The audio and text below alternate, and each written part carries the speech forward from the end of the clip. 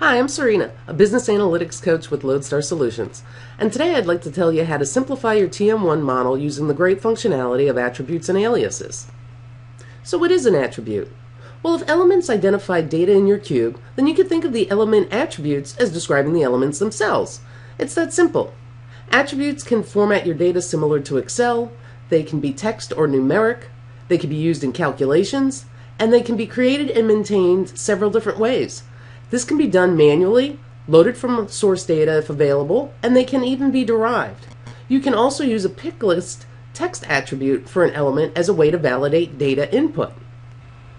An alias is another type of attribute that's very helpful in TM1.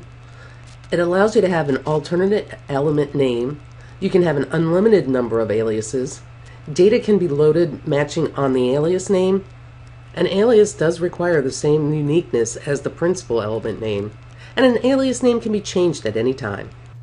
For more about attributes and aliases, we'd love to share with you the full free online video.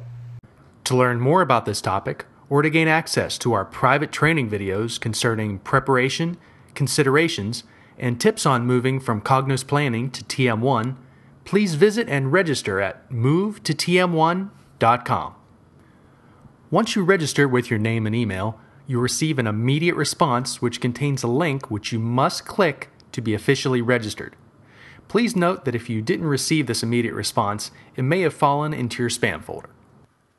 Once you click that link to get officially registered, you'll receive back an email which contains the access link for the exclusive library of videos from Lodestar Solutions. If you would like to contact Lodestar Solutions directly, feel free to email us at sales at lodestarsolutions.com.